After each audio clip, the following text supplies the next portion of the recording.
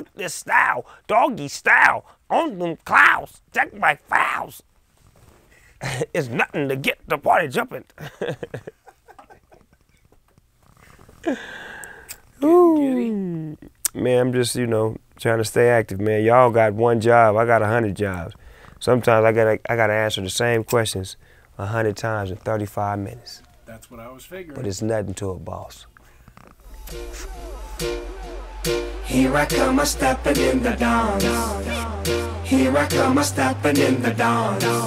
Posted up the wall, here in Amistan. Posted up the wall, here in Amistan. I'm like a I'm like a lion that see a deer when I hear good music. I get turned all the way on.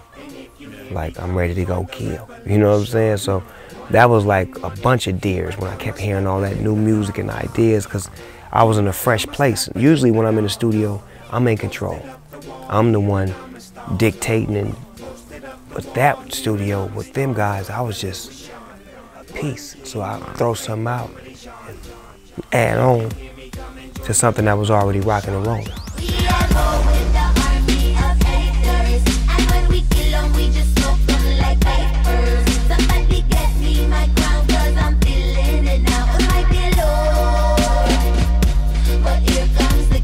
Diplo is great. Uh, his track record, and he also is, is embedded in the reggae world. And I felt like he was my Chris Blackwell. He was my, you know, my piece to my reincarnation. You know, the white boy with all the soul. Just seeing where he could go, how he could take a party and turn it out and rock a crowd. To me, I was like, if I could take that energy and put some positivity on it, wow.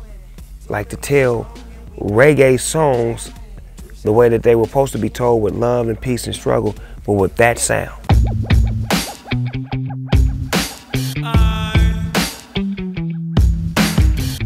Everything was happening as we spoke. Like while we was filming, all of that was happening. It was all taking place.